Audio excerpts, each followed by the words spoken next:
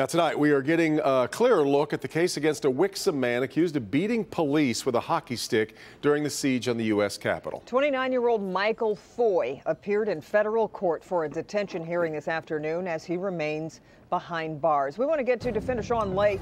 Sean, the feds are calling Foy one of the most violent participants during that insurgency just moments ago in federal court. You're right, Kimberly, saying Foy was one of the most violent at the Capitol back on January 6. They showed body camera footage from the officer who was attacked. It was absolutely vicious and brutal. The feds say Foy has access to guns. They found two with him at home, 10 at his mother's home, and that Foy admitted to being on a, being on a downward spiral, drinking 10 beers a day. Take a look. You are looking at what a D.C. Metro police officer could see as he was on the ground and being viciously attacked January 6 during the chaos at the Capitol. Federal prosecutors say the officer's body camera captures 29 year old Michael Foy from Wixom. As they say, Foy used a hockey stick to strike that officer in his head, face, neck, and body. No cameras are allowed in federal court where Foy had a detention hearing late this afternoon. The body camera footage was played and it showed an incredibly violent attack.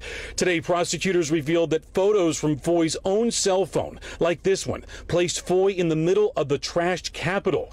The hockey stick used was found in Foy's Wixom condo, and that Foy attempted suicide the week of the Capitol chaos, and he apparently has access to firearms here at home. Foy's attorney says Foy suffers from PTSD and needs treatment right away, that he was a supervisor in his five years as an active duty Marine earning a good conduct medal and needs to be with his mother in Standish, Michigan while he awaits trial. Back here live, the magistrate just making her decision, holding Foy in detention. He will not get bond until he can be moved to D.C. to face these charges. Right now, he's in the Livingston County Jail on a suicide watch. We're live tonight. Sean Lake, Local 4 Defenders. Back to you guys.